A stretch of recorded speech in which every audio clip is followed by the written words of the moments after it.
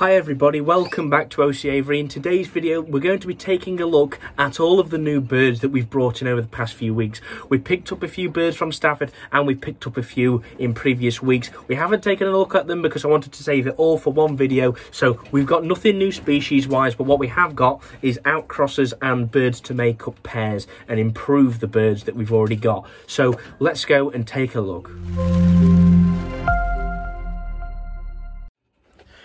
So this first bird, we uh, we brought in a cinnamon Norwich hen uh, about a month ago now. We picked it up, or I was actually given it at the All British Show, very kindly by Brian Rayfield, who is a viewer of the channel, and he keeps uh, a variety of Norwich in different colours, and he's particularly successful with his darker birds and his cinnamons. So we was gifted that hen, and it needs a partner.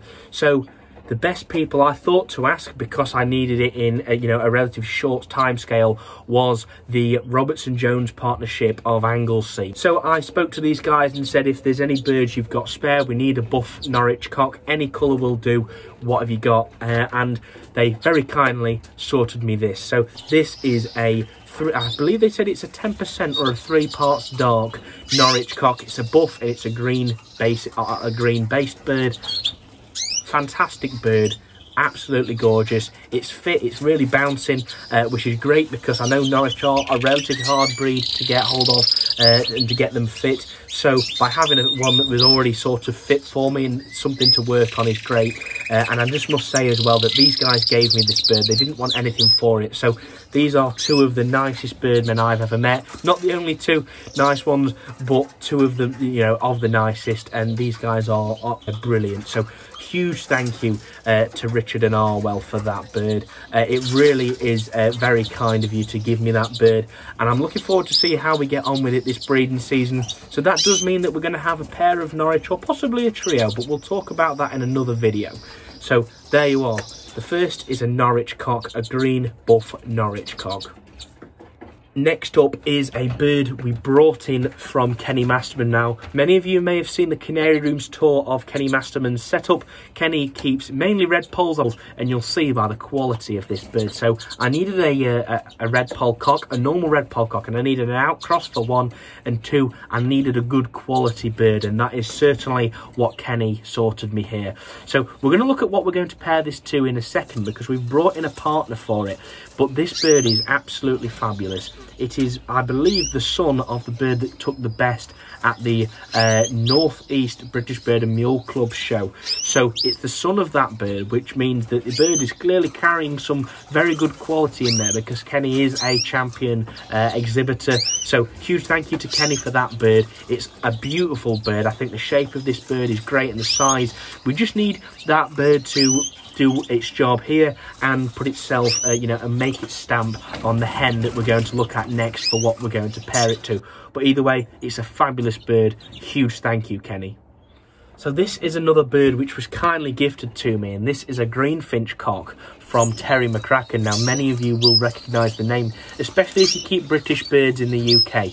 Terry McCracken is one of the top greenfinch guys, and he's been at the top for a relatively long time himself and Jack Lloyd. Now, Terry uh, kindly gifted me this bird. I mentioned to Terry back in November that I could do with an outcross greenfinch, and this is what Terry sorted me. Now, the bird does look a little bit scruffy, don't worry, it's just because it's been in the flight with a couple of other cockbirds, uh, it'll be absolutely fine in a few weeks' time. Just needs a few more baths and a little bit more time for its feathers to come back out, which may have been lost when we picked him up from Stafford, uh, because he certainly didn't enjoy the trip as much as I did. So this is a cracking cockbird. The colour of this bird is fabulous. I think once he's really bathed a lot more, he's really going to show himself well. So there you are. That is a greenfinch cock from Terry McCracken. Huge thank you, Terry, for gifting me that bird. And I'm looking forward to see how we get on with him this breeding season. And I'm sure he's going to make a big stamp on the future of my stud.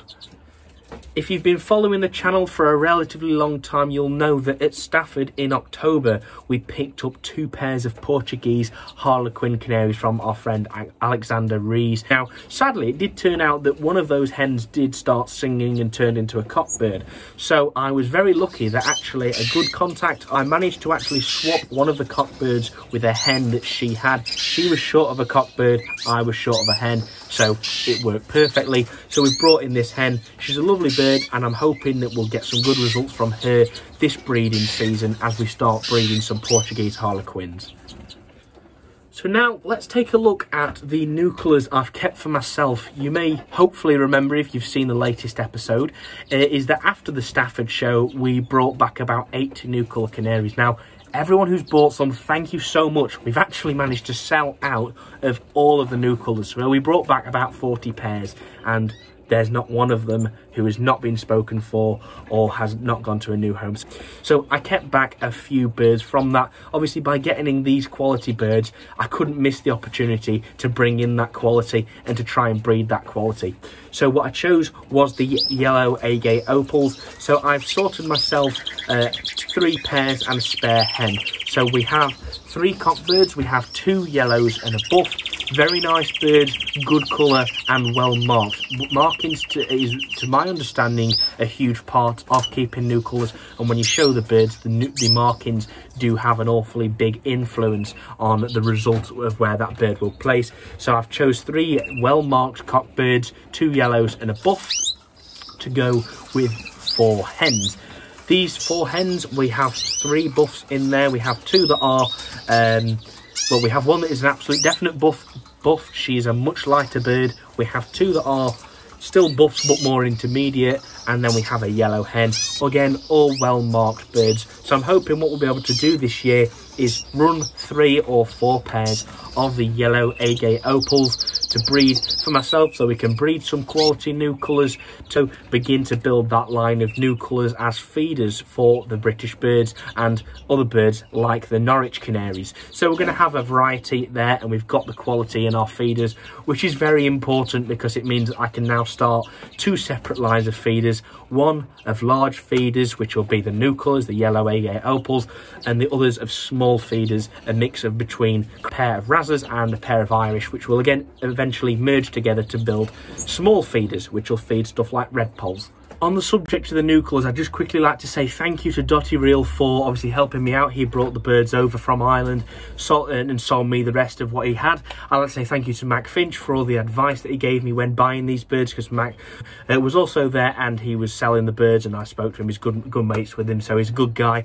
And just before we go as well, I'd just like to say that I've got a friend who is in South Wales. Uh, he's got a number of these birds that I sold him a number of these birds and he's got a couple of spare cocks to go. If you are interested, please do drop me a message, Instagram, Facebook or email. He's got a, few a few agate mosaic cocks in classic and topaz, I believe, uh, and a yellow-brown opal mosaic as well. So do drop us a message and I'll be able to forward you on his details uh, so you can contact him. There's only cocks to go, but these are some very, very good quality cockbirds.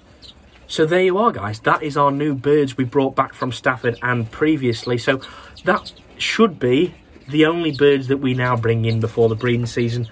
Of course, we're going to Newark in a few weeks' time, so the Newark show is on the 27th, I believe, uh, Sunday the 27th of March. If you are coming down, do uh, you know do do come over and say hello. I will be filming at the show almost entirely. I might take a few birds if there's a few spares that need to go, but other than that, I can't see me picking anything else up there unless something drops dead, which would be a real shame, or I see an opportunity I just can't miss. So anyway, hopefully you have enjoyed this video and seeing some of the new birds. So if you have, please do subscribe down below so you don't miss any more of my future videos. Smash a like on this video if you have enjoyed it.